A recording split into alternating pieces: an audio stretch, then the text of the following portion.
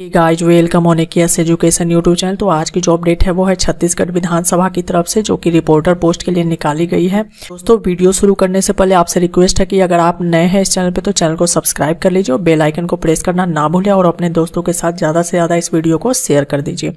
तो चलिए आज के वीडियो शुरू करते हैं बिना किसी देरी के। सबसे पहले यहाँ पे आप देख सकते हैं कि छत्तीसगढ़ विधानसभा रिपोर्टर रिक्रूटमेंट 2020 की जो है पोस्ट नेम रिपोर्टर है, ठीक है? छत्तीसगढ़ विधानसभा सचिवालय की तरफ़ से ये वैकेंसी आई है। स्टार्टिंग डेट की इसमें हम बात कर लेते हैं तो ये पाँच मई 2020 से फॉर्म फिलअप होना स्टार्ट हो चुका है।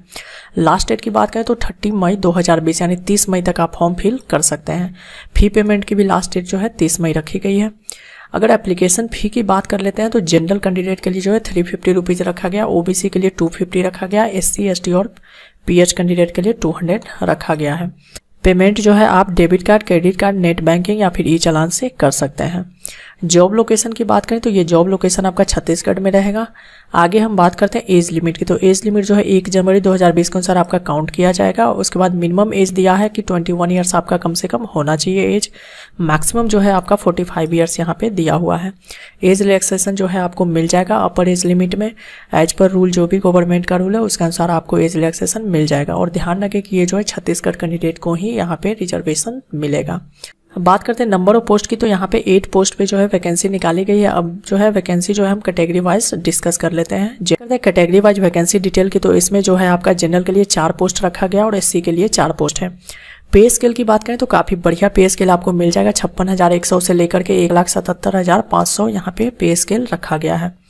एजुकेशनल क्वालिफिकेशन की बात करें तो candidate having bachelor degree from any recognise university institute will be eligible for this recruitment और Hindi stenography test from recognise board या institute and having stenography minimum speed of 140 word per minute in Hindi.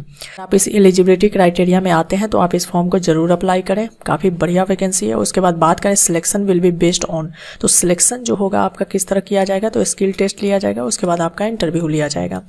तो दोस्तों, आज के update में बस इतना ही। अगर वीडियो अच्छा लगा हो तो लाइक ज़रूर करें, अपने दोस्तों के साथ शेयर ज़रूर करें।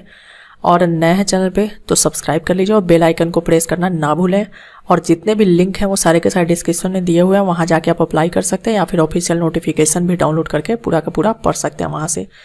तो दोस्तों, इसी तरह के पल पल के अपडेट के लिए आप एक एजुकेशन यूट्यूब चैनल पर बने रहिए। Thanks for watching this video